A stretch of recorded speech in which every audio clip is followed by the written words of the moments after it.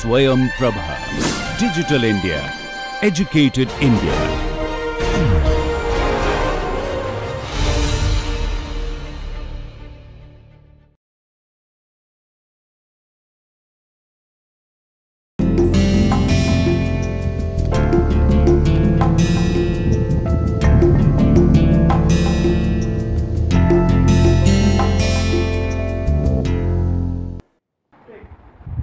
Hello and welcome to lecture 12 of Gender and Society.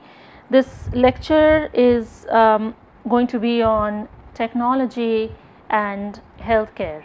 So, in the past uh, lecture you have seen that um, what are the various ramifications, what are the various processes that are at play uh, between gender and health. Uh, health. So, um, we have in the past uh, lecture explored the um, various understandings of health, um, you know from the classic biomedical model to understanding um, of health using the holistic uh, model and then we have looked at how the um, World Health Organization actually defines health as. Um, so,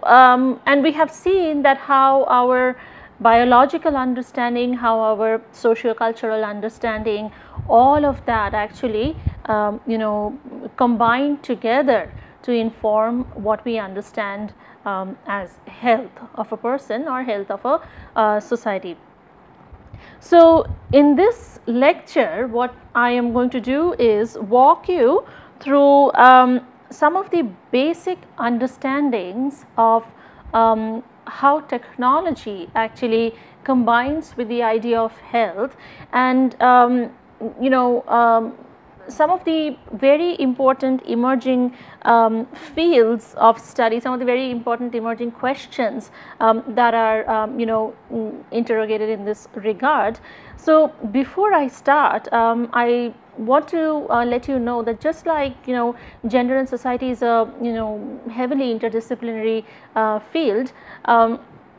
topics such as you know technology's role on healthcare or how healthcare and technology inform each other um, you know is sitting at the intersection of uh, multiple disciplines. So, we will see um, you know um, how you know these intersections actually work out, um, but just to start uh, with a couple of key questions here that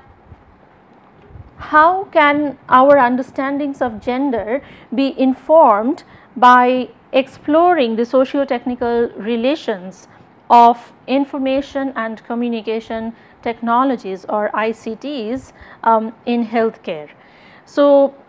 um, you know how does gender actually inform the idea um, you know of ICT and uh, you know in, in, in vice versa how does ICT actually um, you know um, give us understanding newer understanding of how gender is negotiated as a process. And the second question that um, we will be looking at is how far can an appreciation of the ways in which gender works inform and improve our understanding of how ICTs are being developed implemented and used in healthcare contexts. So, um, as you can imagine and as you already may have identified that one of the intersections of um, you know talking about technology and healthcare which is a huge huge you know field um, and it is practically impossible to talk about all the technological advances in um, just one lecture, um, but as you can imagine that um, the role of information technology, the role of information and communication technology is at the very heart of the matter, is sitting at the very uh, core of the matter. Also sitting at the very core of the matter is a sociological understanding of how technology and healthcare um, you know uh, inform each other. So, we have uh, you know an emerging idea of self care which is highly culturally driven and um, you know it is promoted uh, through cultural practices and social practices and government policies. Um, so, we see this idea of um, a transition from uh, you know um, curing um, a disease as um, you have seen in the last lecture that um, of the several transitions that we have uh, made in this respect, this is one such that we have transitioned from the idea of curing to the idea of um, you know preventive um, you know ways and to the idea of self care to the to the idea that you know um, you know what can you do to um, take care of yourself? What can you do to prevent falling sick and the very technologies that redefine health are also the means through which this individualization can occur through um, e-health, diagnostic tests and the commodification of restorative tissue such as stem cells and clone embryos. So, you see that the uh, the premise, you know, the boundary of this field of technology um, and healthcare is huge. So, we are talking on the one hand about self care, you know, everyday living, day to day life. Um, two, you know, we are talking about, um, you know, restorative uh, tissues, um, we are talking about examples of stem cells, clone embryos. So, you can imagine the breadth of the um, you know the um, the field of technology in um, use of technology in healthcare uh, services. So, from a sociological perspective um, when we talk of digital health we come across um, you know four broad areas uh, that you know uh, inform each other and they inform um, and they make possible the growth of um, digital health. So, as you can see digital health is sitting at the center of um, these broad you know disciplines of you know sociology of health, sociology of algorithms, computational social science, critical digital sociology. So, all of these actually merge at a point um, to give us an understanding of digital health or digital healthcare. So, when you have to understand um, how digital health works, um, it will be important for you to bring in um, you know some of the understanding from uh, each of these uh, fields of inquiry. So, what we have seen that over time um, you know the idea of digital healthcare has um, progressed through several stages. So, um, starting you know as early as 2003 you, as you can see where um, uh, you know it was imagined to be an age of learning in terms of digital healthcare um, and you know uh, scholars were asking you know sort of questions that what is it and why should we care about digital healthcare. So, that was you know um, that was the one of the um, introductory phases, one of the first phases when um, the idea of digital healthcare was actually introduced in, um, in, in society that um, you know uh, scholars and practitioners and researchers they were trying to understand that what is digital healthcare and why should we care about digital healthcare? What is it that it is giving us you know um, an added advantage? So um, it started from there and then we go uh, to the age of interest. Um, the second stage is the age of interest that how can we seed innovation. So, now we have accepted that you know we understand or we kind of understand what digital healthcare is and so how can we you know make it uh, more innovative. So, how can we more start you know discovering newer avenues um, you know understanding newer concepts with regard to digital healthcare. The third stage um, that you know the age of implementation is asking how can we do digital health well. So, the first two uh, phases were actually invested in understanding um, you know what is it? And then um, the from the third phase onwards which is you know um, the current phase um, that we are in is questioning that how can we do digital health well? What is it that we need to do to um, you know progress uh, make progress um, with this um, idea and the next you know phase that is projected to be the age of scale that is how can we maximize our impact. So, we have gone through you know asking what is it, how is it and then um, you know, we are asking how can we maximize the impact of digital um, you know healthcare. So, as you can see that we are um, currently um, in the third stage going on to the fourth stage um, soon that um, we are now uh, engaged more with the question of um, how can we do digital health um, better and then what are the you know uh, benefits that we are gaining and how can we maximize the impact of uh, digital healthcare in society. So, we have seen just to give you uh, some idea of how health information systems work, um, we have seen that um, there has been um, you know changing boundaries um, and relationships between traditional producers and users of health information. So, the relationship between producers and users have undergone a change and um, this uh, you know has been manifested or facilitated um, by the collection of health information. So, how information about health is collected, the distribution of health information to citizens. So, you know how you know or how well um, accessible are these information to the um, people in the society and the growth of new imaging technologies. So, um, you know what are the newer ways of um, you know applying technology to image processing um, with regard to healthcare and here you can see um, this is actually um, a, a, research work that was done by a set of scholars. So, you can follow this uh, link if you want to read up uh, about this paper. This is just showing an application of medical imaging technologies and you know how can we take it um, a step further.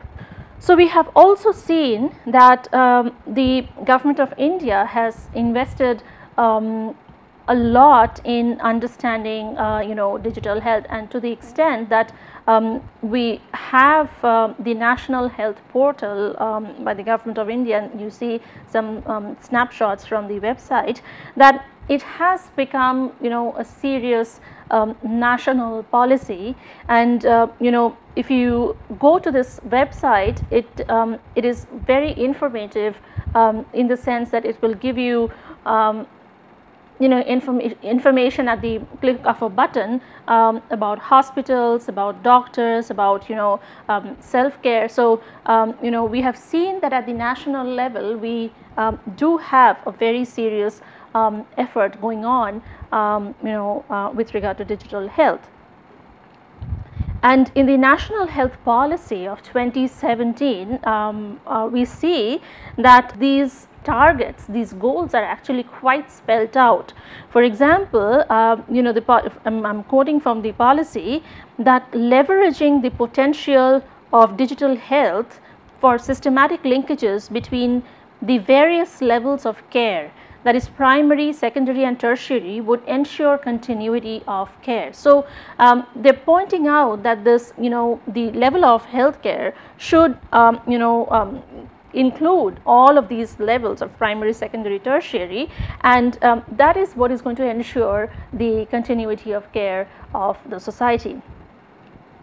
Then they also talk about the um, you know digital health technology ecosystem which is um, the National Digital Health Authority or the NDHA will be set up to regulate, develop and deploy digital health across the continuum of care. So, they are actually having a health authority to um, you know look more deeper into um, the, um, uh, the ideas of digital health. And the you know the road ahead from here is to understand then what are the various applications of digital health in society.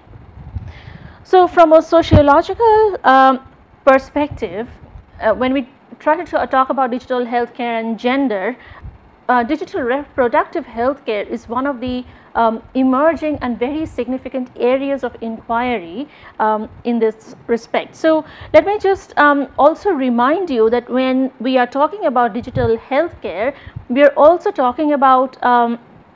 you know some factors such as um, understanding of a traditional healthcare. So, what it means um, you know say if we take the example of reproductive healthcare. So, what it would mean traditionally um, um, with regard to reproductive health care. Um, computer literacy. So, how well can a person, um, you know, use um, computers, or, or rather, uh, you know, does a person have access to, um, you know, computers or not? Um,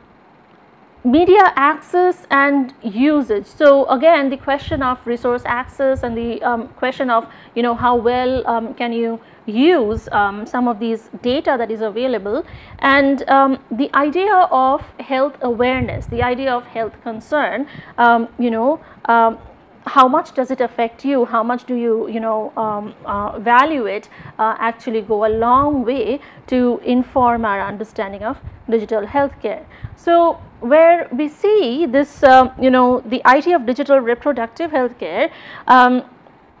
we can talk about it uh, in three possible ways. So, the first um, way that we can talk about it uh, is talking about discourse and practice. So, uh, if you look at you know how discourse and praxis um, operate, so these are you know classic um, ways of understanding that what people um, you know say and what people do in society. So, the relationships between discourse, structure um, and action uh, in this case are you know analyzed and um, with regard to you know praxis um, the questions um, you know concerned around um, what are the various values? What are the various norms? What are the various um, expectations that are implicated um, in such technological um, applications? So uh, that is one way and there is another way of uh, you know understanding. So what are the expectations of these applications on healthcare? And uh, you know how is the understanding of um, the human body actually changing with the uh, you know application of um, digital practices. So, the idea of digital embodiment. So, how is you know um, understandings of um, motherhood, of fatherhood, of, of self care, of um, you know um, monitoring the body. So, you know how are you know these ideas changing um, over time with the um, use of digital healthcare and the idea of um, intersectionality being scaled. So, um, you know this is also um, emerging field of inquiry um, in, um, in um, sociological study that um, we talked about the idea of intersectionality where you know uh, we look at a person's social location based on the various um, axes of differences such as gender, such as age, such as religion, um, nationality, ethnicity and here um, you can see you know um, it's sketched out that way. So, um, the, the intersectionality that is also scaled which means that um, this intersectionality is um, you know negotiated at various geographic scales from the um, starting from the body, starting um, you know uh, from the family to the region to the group to the um, national to the international. So, you know all of these geographic scales at which um, you know it is negotiated. So, um, this is you know um, some of the significant ways you can actually um, understand um, the idea of digital reproductive healthcare so through discourse and praxis, through digital embodiments and um, by understanding how intersectionality is scaled. So, as I said that um, the idea of um, technology and healthcare um, and gender is actually um, you know very overlapping and it shares um, you know a lot of um, understanding with um, each other and with you know other fields. So, if we look at gender and technology we see that this um, you know relationship between gender and technology um, looks at the social shaping approach um, which is hierarchical inflected by social class and gender. So, um, the relationship between gender and technology is um, you know socially um, you know shaped and socially um, constructed to a large extent. The relationship between technology and gen and, and health um, you know brings with it the understandings of the sociology of science and technology studies or STS um, as it is popularly known, the socio-technical perspectives on health informatics. So, um, health informatics uh, or social informatics is a field um, that uh, you know has emerged for quite a few years now although um, you know uh, work is going on in this regard quite significant works going on in this regard. Um, but then this um, you know field technology and health um, actually again looks at this socio technical perspective that um, it is a product of the social and in society.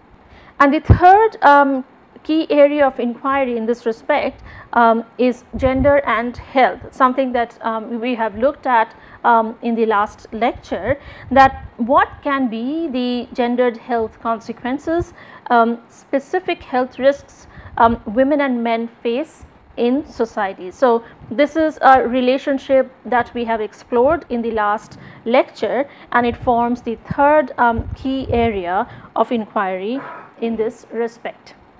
So, in this respect we also have to um, understand another theoretical um, framework that we may find helpful to understand how um, you know um, technology works with um, you know um, human aspects of healthcare. So, this is called the actor network theory and the human and the non-human as the theory states should be integrated into the same conceptual framework and assigned equal amounts of agency. So, this is a theory that comes from um, you know a sociological uh, background where it is uh, proposed that there is a relationship between human and non-human artifacts um, you know or structures and they can be studied as part of the um, conceptual framework and uh, when we talk of agency and when we talk of discourse, um, so we in this in this actor network theory, we see that you know equal amounts of agency are actually um, put in the human and non-human um, uh, comp components and um, you know as is prevalent in the um, discourse. So, this uh, theory, this actor network relationship actually explores how relationships between people, objects and concepts are formed and why. So, you know as um, you know as human beings um, we deal with a lot of non-human um, you know things. And um, so there there exists a relationship between you know that human and non-human. And you know this this theory actually helps us to understand how all of those um, relations are built. And then uh, you know how can we um, you know make meaning of why such relations are formed between the human and the non-human. So, here um, in this graph as you can see um, you know um, this is uh, used as an example here um, that this shows a relationship between users um, you know graphical user interface designer applications um, you know customers um, so all sorts of things that can be human or non-human and you know they are put in a network to understand how one relates to another. So this is another um, example to show that um, you know borrowing from the actor network um, theory we can think of developing mobile analytics and um, say for example you want to build an app um, that uh, you know measures or that uh, you know tells you something about um, you, you, know a health condition maybe a reproductive health condition maybe um, you know um, a health condition such as diabetes. So you want to develop that app and um,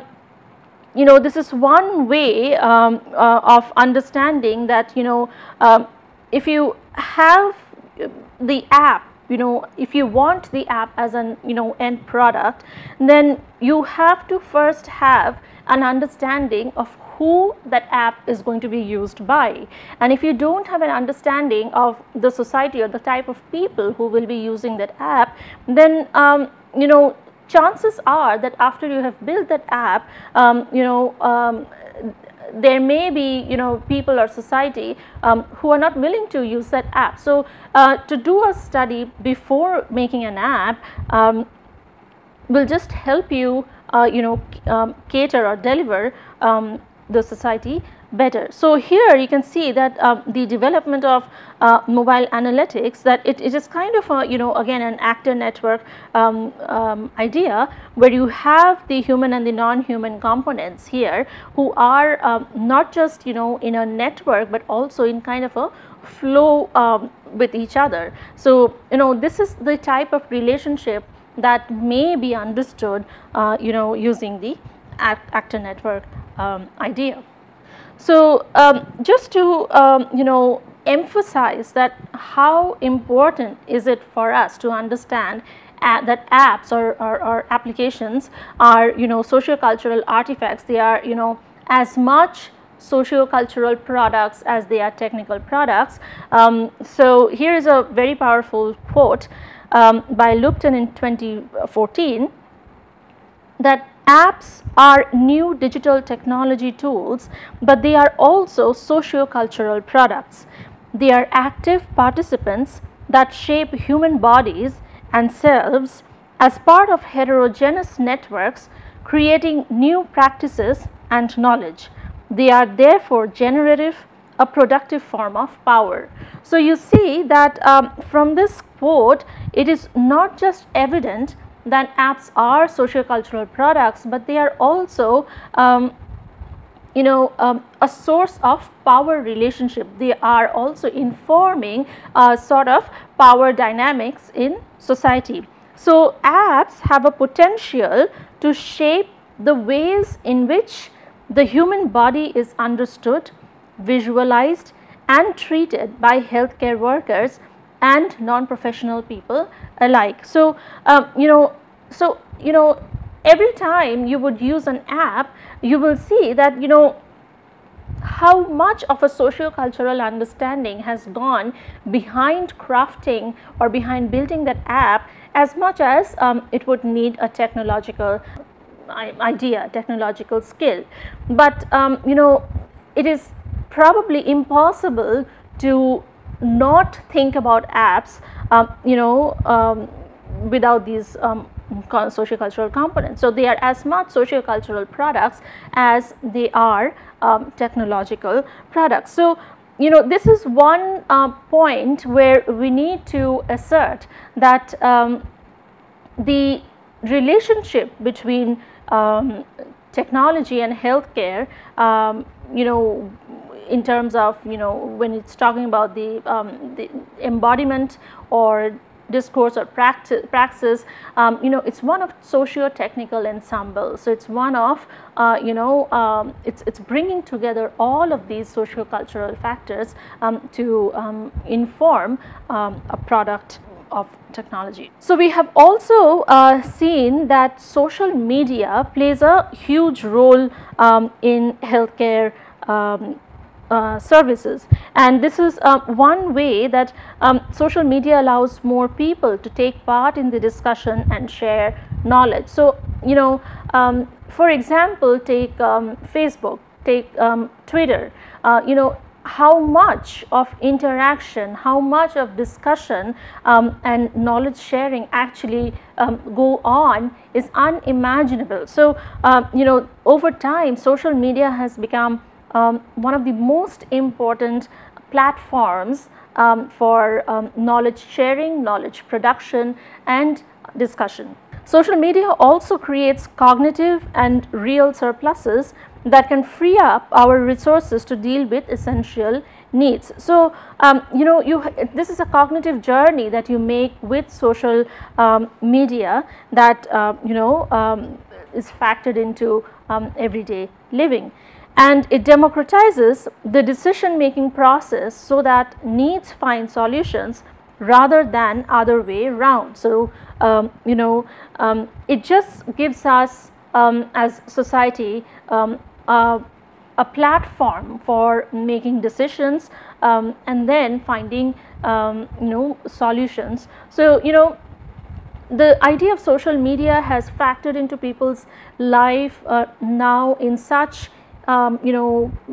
intricate ways that it is difficult not to pay um, you know attention um, you know to to uh, pra uh, practices regarding that.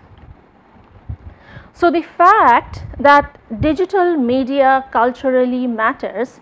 is undeniable, but showing how, where and why it matters is necessary to push against peculiarly narrow presumptions about the universality of digital experience. And this was proposed by Coleman in 2010 where um, you know the scholar is saying that you know we know for sure that you know there is a very important cultural implication of our digital media, but what is not clear yet and probably this will be a work in progress for the next um, you know decade or so um,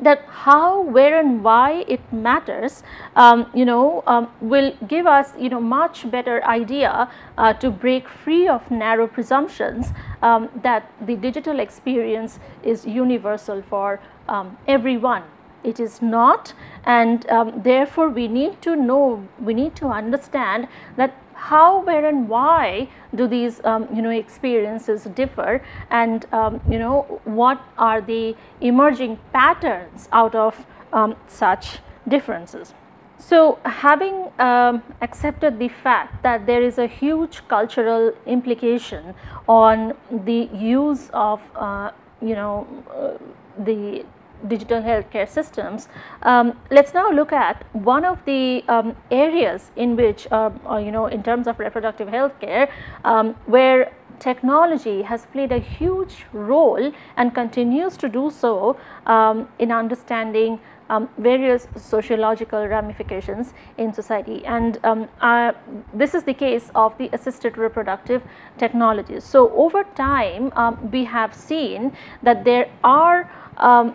you know these efforts um, whether it's um, you know um, traditional healthcare or, or digital healthcare or you know however you want to put it that societies have tried to um, address issues of globalization, issues of inequalities um, through various um, you know technological ventures. And one of the inequalities that you know can be talked about in this respect is the idea of infertility. And infertility affects more than 15 percent of all reproductive aged couples worldwide at some point in their lives. So, it is a it is a very significant global problem that um, we see you know worldwide.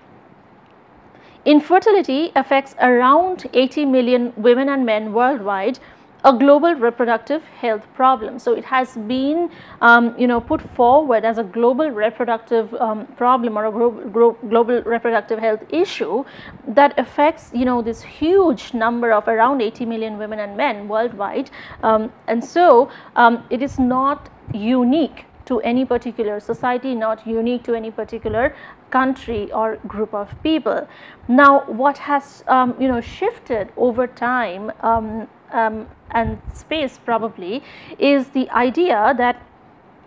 infertility if we have to term it as a problem um, I, I, like to call it as an issue not a problem um, it it the the focus has shifted from being a you know female's problem to a couple's problem. So um, that is a major um, shift in focus that we see um, that you know infertility the changing ideas around infertility is brought about in society is that now um, you know it's looked at as um, you know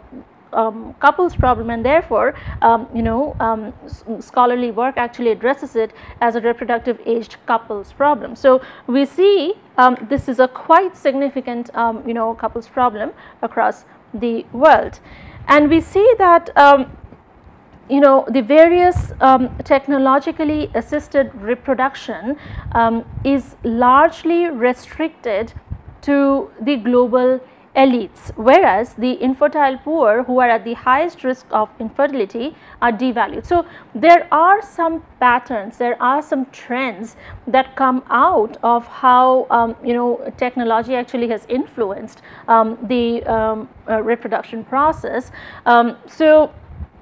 what is seen that it is largely restricted to the global um, privileged class, the um, global elites, whereas um, the, the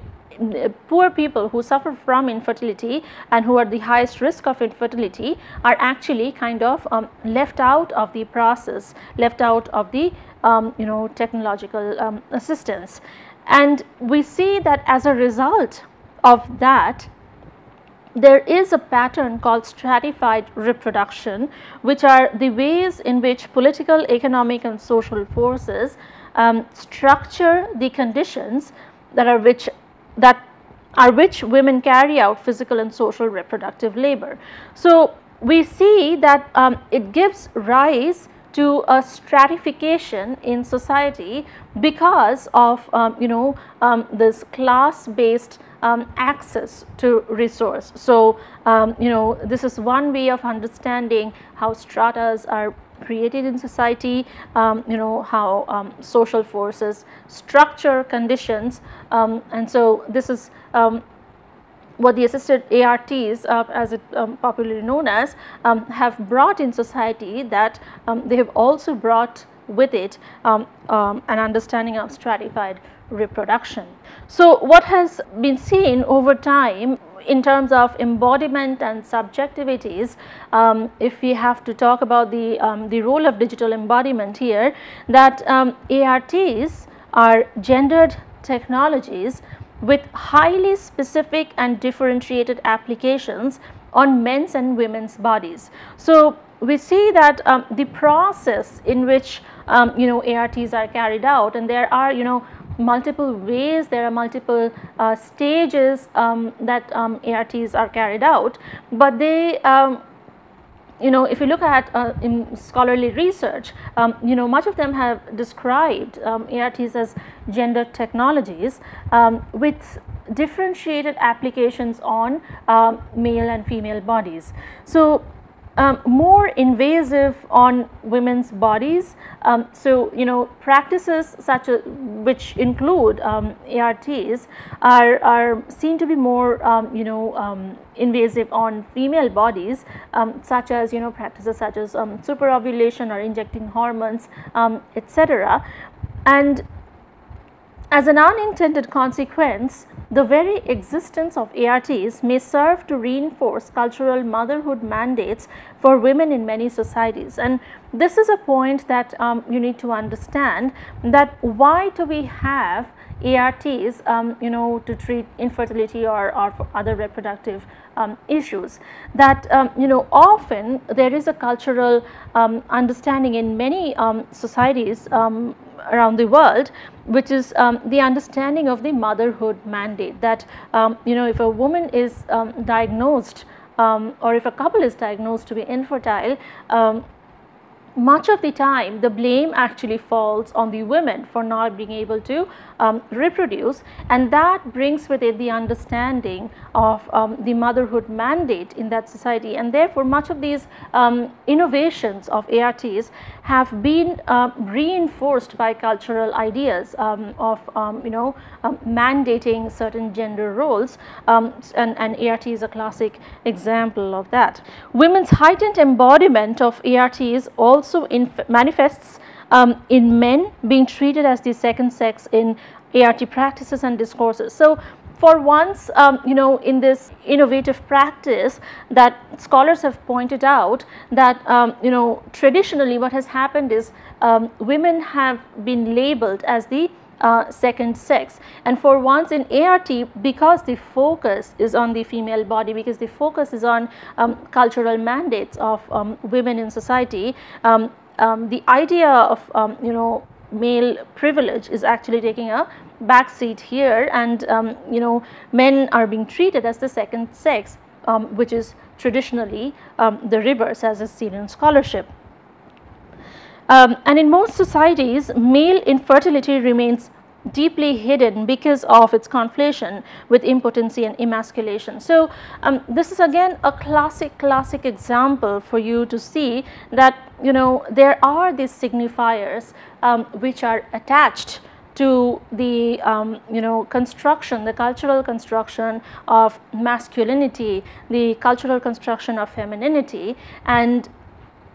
oftentimes what happens is um, if um, you know an infertility uh, issue is diagnosed in a couple and if it's the um, you know the um, issue is with the male in the couple oftentimes that remains hidden. Oftentimes it is not um, exposed because um, you know exposing that will um, you know take away the signifying factors of masculinity um, or um, you know um, the privileged position in society. So it is a very very um, you know common phenomena that um, the if it is a problem you know the male infertility is a problem it remains deeply hidden it is not um, you know um, uh, spoken about it is not discussed. So these are you know as you can see some of the major ways in which we can understand the role of um, ARTs and by extension the role of digital um, healthcare practices um, as it would have a direct influence on um, you know um, a person or a group or a uh, society. So, we um, have different ideas of embodiment, we have different ideas of subjectivities and and there are social repercussions. So, um, society actually um, you know um, behaves differently, society reacts, responds differently with regard to each of these um, embodiments and subjectivities.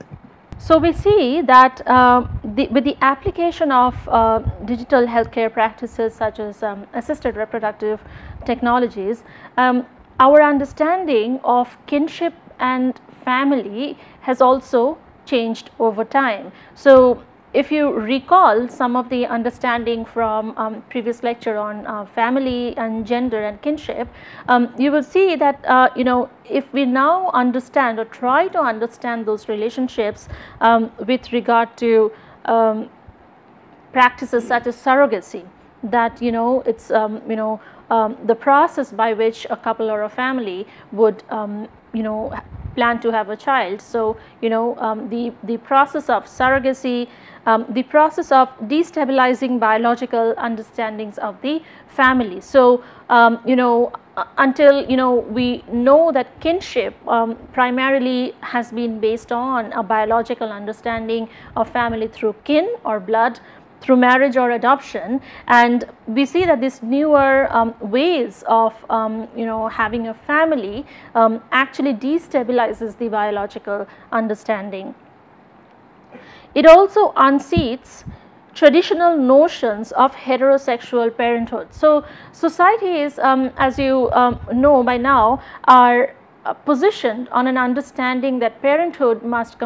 comprise of a heterosexual couple so between a, a man and a woman and um, you know with this new forms of technologies um, to have family to have children to have babies um, it is also um, you know um, destabilizing or unseating these traditional notions that there are you know parents who are you know who can be either single parent or um, you know same sex parents um, who, who have um, now an option to have a child to have a baby and therefore it is um, challenging um, the um, you know the single understanding of family as you know or parenthood as heterosexual parenthood. And the introduction of ARTs particularly donor insemination for um, lesbian and gestational surrogacy for gay men has led to the queering of reproduction. So, as you will see um, in the lecture on um, queer um, theory and queer relations that this in a way leads to a queering of understanding of how we understand um, reproduction and this goes hand in hand with the previous point that um, we now have newer understandings of, of, of how um, you know families can be formed in society and um, these are some of the ways that are playing very important roles to um, you know help us um, craft new definitions of family, new definitions of social relationships.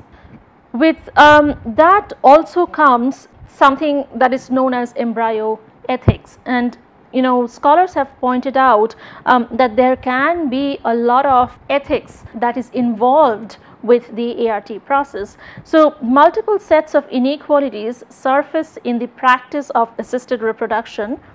reflecting intersecting oppressions based on gender, race, class and nationality. So, as you well know by now that um, you know each of these um, components um, gender, race, class, nationality each of them actually contribute um, to an understanding of creation of inequality in society.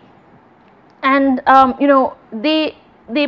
the practice of assisted reproduction um, you know actually uh, makes it more uh, visible makes it more um, uh, tangible. So, um, we see that is um, you know one of the ethical considerations or one of the visible um, concerns. Um, the poor minority women in some countries are being recruited or you know as you know some scholars would say coerced as gestational surrogates. So, you see that um, you know the minority women particularly from rural poor um, parts of the society um, uh, including um, in India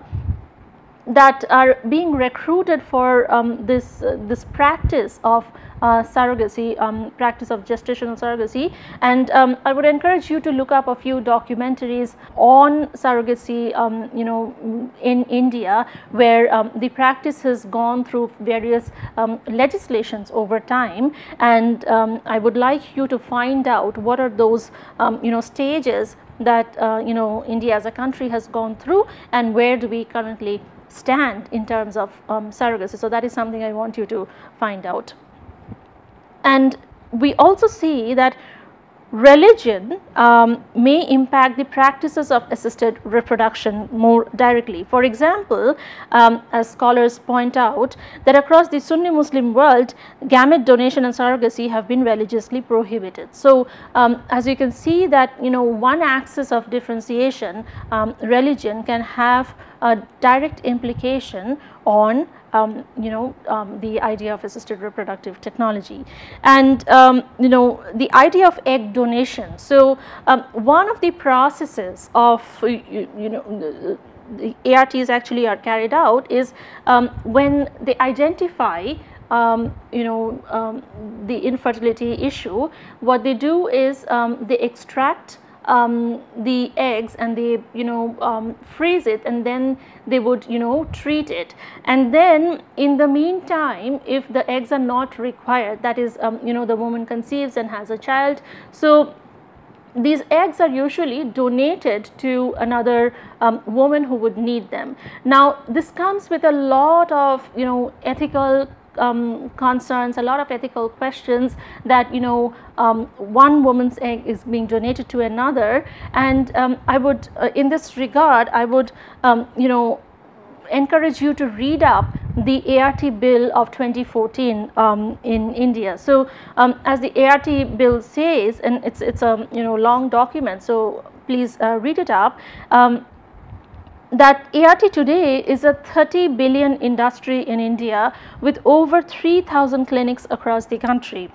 Infertility is the commonest medical problem in 30 to 40 years of age group of couples in India. And you know the ART bill actually points out some of these um, very important um, ways in which um, you know family, kinship, um, can be um, redefined and some of these um, you know ethical connotations around um, processes such as practices such as egg donation. So, how do we then um, understand um, ARTs with intimate relations in family and marriage and you know we see that uh, it is global